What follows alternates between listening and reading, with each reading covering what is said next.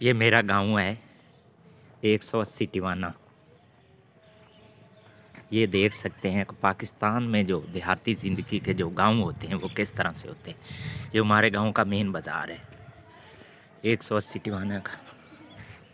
ये आप देख सकते हैं। इधर से खड़े होकर पूरे चाक का जायज़ा लिया जा सकता है। ये बाज़ार है और ये मेन बाज़ार है।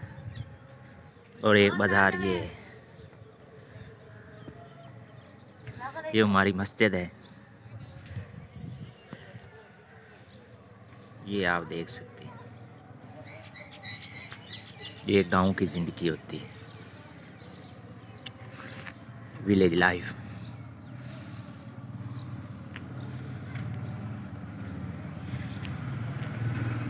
Thank you